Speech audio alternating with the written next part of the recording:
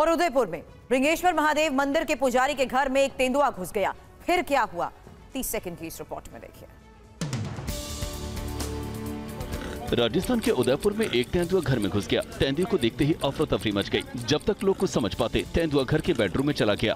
बचने के लिए लोगों ने बाहर से दरवाज़ा बंद कर दिया। बताया जा रहा है कि तेंदुआ घर के आसपास ही घूम रहा था। इसी दौरान घर के लोगों ने किसी काम से दरवाज़ा खोला। इस बीच तेंदुआ अचानक घर में घुस आया। तेंदुए को देखते ही लोग डर गए। इसके बाद वन विभाग की टीम को रेस्क्यू के लिए बुलाया गया। पैंतर ऑन रोड चल रहा था। जैसे मेरा दरवाज़ा खुला, अचानक एक गाड़ी आई। तो उसके डर से पैंतर घर के अंदर घुस गया।